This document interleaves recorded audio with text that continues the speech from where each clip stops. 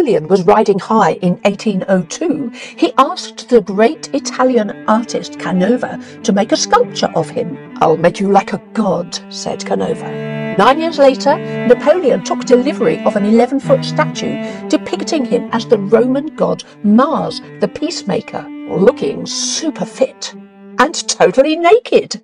Napoleon complained. It's too athletic and doesn't look anything like me. That was true. By now he had turned into a bit of a podge, so he ordered it to be hidden from public view.